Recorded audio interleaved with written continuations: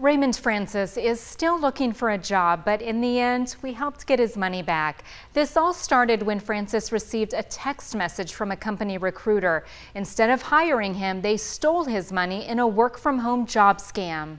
It seemed perfectly legitimate because he had all the standard questions that you would ask during an actual interview. The only thing that struck me as a little bit weird was it was a text interview. In hindsight, Francis wishes he saw the red flags sooner. Francis thought he was communicating with recruiters for an international technology company. He sent $950 total for equipment to track his remote work.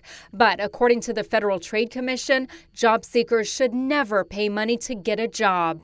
Scammers ask people to pay in ways in which it's really difficult to get your money back, like gift cards, bank or wire transfers, payment apps like mm-hmm. Zelle, PayPal, or cryptocurrency. But if you paid a scammer, immediately contact the company that you use to send money, report the fraud, and see if it's possible to reverse the transaction. Oh, yeah, the bank originally told me that due to the transaction going through the way the way I intended for it to, that they weren't going to honor my request. And by that you mean Zelle? Yeah. In other words, I told them to send the money, they sent it, and they didn't want to honor that it was a scam. But after 13 News got involved and contacted Bank of America on his behalf, Francis received a letter in the mail and a credit of $950. They gave back the total sum that, that I asked for. I'm pretty thrilled by that. In an email to 13 News, we're told Bank of America recommends that clients should only send money to people they know personally.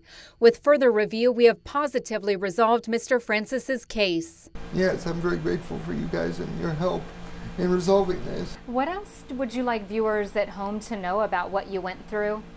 Oh, just to be aware that there are very elaborate scams out there, and no matter how real they seem, if somebody's asking you to pay money to get a job, it's probably a scam. Francis plans to use the refund to pay household bills. Now he's being more cautious about what websites he uses to job search. For more information about spotting scams and how and when to use digital payment apps safely, head to KOLD.com. I'm Rebecca Taylor, 13 News.